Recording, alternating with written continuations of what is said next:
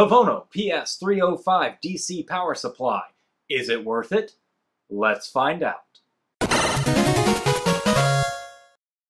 Greetings programs, Atari here, you there, and this is a Pevono PS305 DC bench power supply.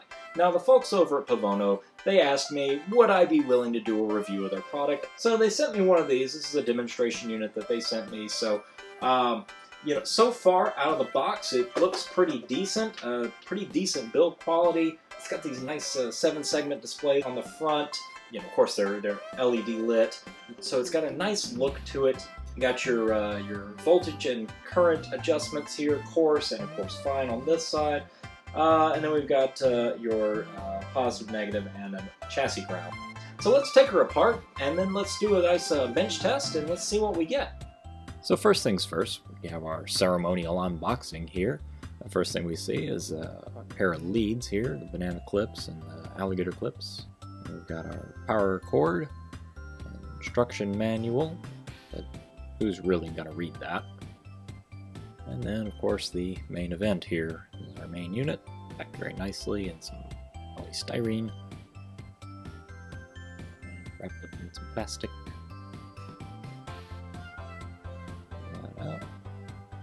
Right there.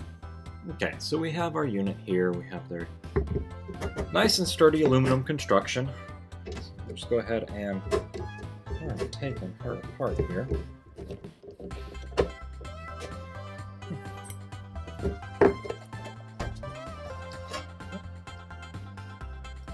cover, off. So, uh, we'll start here. Back, we've got our uh, power supply input, and it is fused. There is a fuse inside there, uh, and a nice little switch between 110 to 20.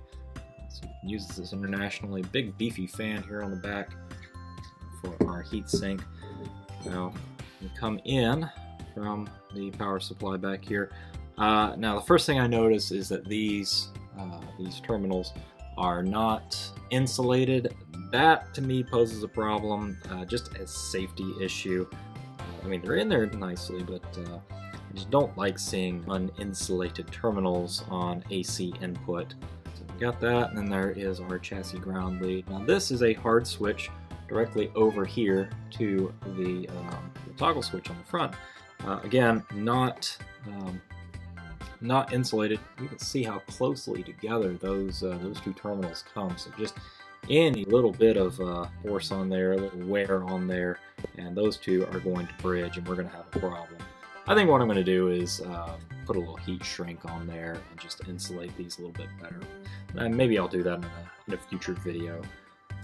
Anyway, so we're coming back here. Uh, here is the AC side of our board.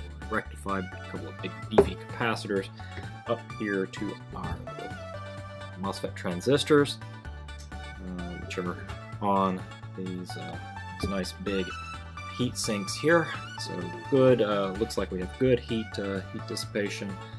And we got uh, a lot of, it's, a, it's a, actually a very clean board, uh, very nice.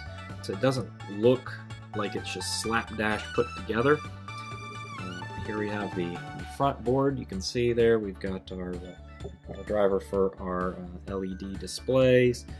Uh, a couple of pot trimmers for the uh, accuracy there on the display.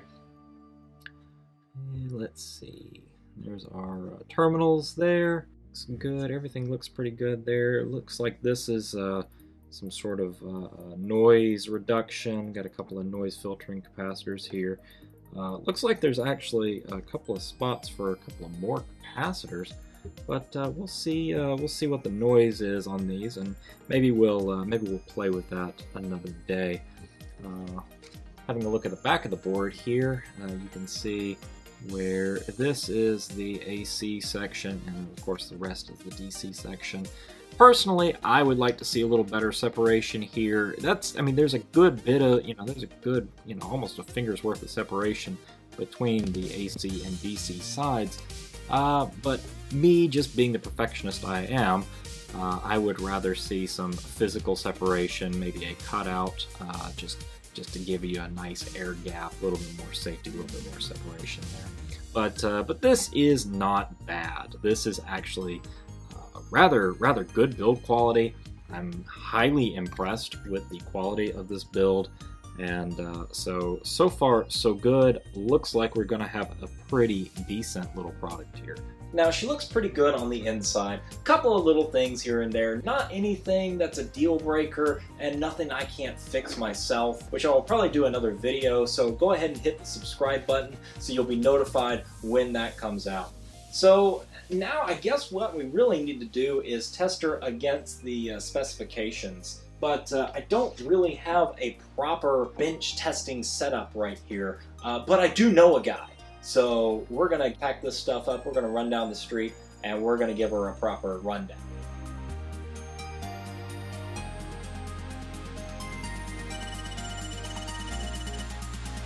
Okay, so I'm here with Arclight of 23B Hackerspace here in Fullerton, California. I asked him if I could, uh, you know, use the uh, the workbench here to uh, to do a little more uh, accurate measurements of this thing, little uh, literal bench test, if you will. Uh, so ArcLight, show me what you got here. Yeah, so this is our um, double E electronics bench here. We have a benchtop DMM here that goes to four digits. It's called the Mastech uh, 8040. We have a Rigol DS 1102 100 megahertz scope, one gigasample. Uh, should be pretty adequate for testing, you know, power supplies, things like that. And of course, we have the, the little. Absolutely, and we have our device under test. Fantastic. Yep. So, so we want to measure some current. Uh, we want to see what kind of ripple we're getting. Uh, any of that stuff. Uh, voltage, accuracy, no problem. fantastic. So, all right, let's get down to business. Let's do it. The frequency to which you are tuned at the present time is the one on which you will normally receive civil defense information in the event of a national emergency. Okay, so ArcLight has very graciously allowed me to use the electronics shop here at 23B to, to check this thing out on the oscilloscope. So let's hook it up and, and, and find out what's going on here. So we're going to look up our leads here. Of course, white black. And the red.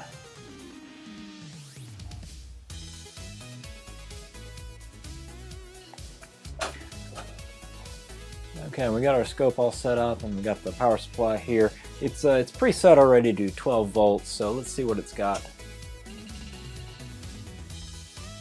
You can see here a little bit of a ripple going on uh, with the switching power supply, a little bit of noise in the line there. Okay, so now let's try this under load. I've got it hooked up with a, a 10 watt uh, 10 watt resistor here, 24 ohm. So let's see uh, see what we do with the 12 volts here.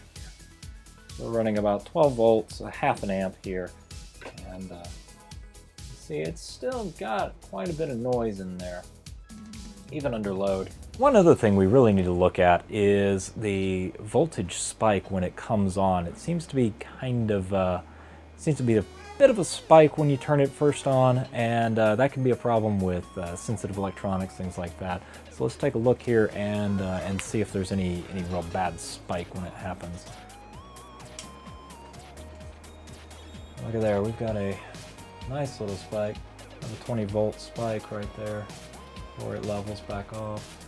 So this could be a problem if you have sensitive electronics or anything like that. So just something to be wary of. So don't have your load connected uh, before you turn it on. Turn it on and then connect your load. So while I'm here at the shop, I might as well check the uh, accuracy with a, a, a much more accurate multimeter than what I've got at home.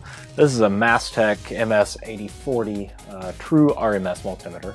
Uh, so it's accurate to like uh, four decimal places, something like that. So uh, we're gonna check it out with this. And uh, so let's just go ahead and turn her on. Um, take her back down to, uh, let's take it down to, started out about 12 volts. Okay, so we got 12 volts there. And we'll just check our voltage here.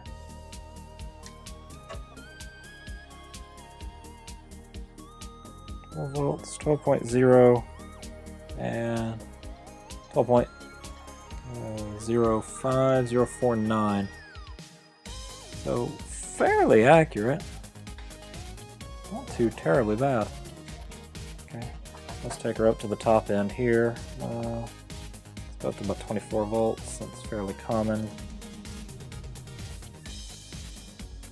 24 volt. 24.04 volts. Excellent. So still fairly accurate here. Take her all the way up to the top, to the tippy tippy top. Fan's kicking in a little bit. 31.9 volts on the screen there. Uh, 31.96, so even still accurate up at the top extreme. Now let's take her down to the take her down to the low end. Uh, let's do about 3.3 volts. Actually, let's get 5 volts in. Let's make sure our 5 volts good. Uh, working on electronics, I'm usually working with uh, 5 and 3.3 volt, uh, you know, logic and so forth. Um, so 5029, 503, uh, right there on the 5.0 display. Let's take her down to 3.3.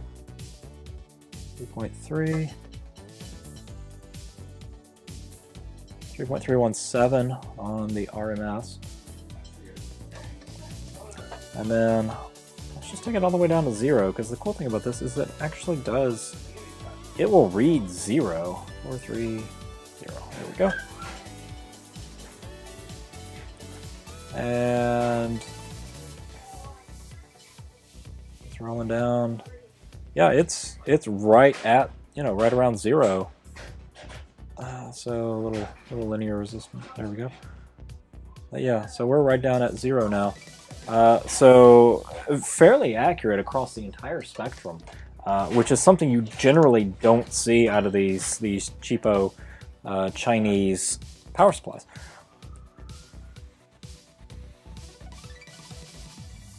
Now I got my 10 watt resistor here. Let's let's put her under load, uh, and let's see how accurate uh, we are when we're under load. Okay, so now we're set up so that we can check the amperage accuracy. So I got the whole thing. We got it running out of red and into a 10 watt resistor over here into the multimeter and then back out and back into a uh, negative side. So let's uh, let's just take a look here. We'll uh, start running it up. Up our voltage a little bit. Okay, so let's go to 3.3 volts. Uh, 3.3 volts and showing 1.4 amps right here and uh, 1.3 uh, 0.139 right there. Okay, I'll take it up to 5. Uh, 0.21, uh, 0.208, so still really super close. Um, fans kicking in. Take it up to 12 volts. 12 volts, uh, showing 0.51 here, uh, 0.497 here. Uh, we'll check the accuracy. We'll check and make sure that's within spec. I don't want to do the math in my head. Just take her right on up to 24.